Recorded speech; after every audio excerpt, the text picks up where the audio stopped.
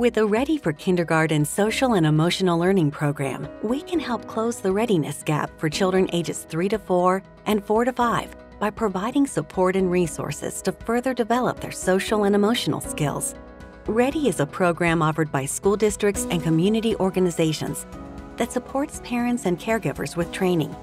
Let's give children a great start in school and in life. For more information, visit us online at readingfoundation.org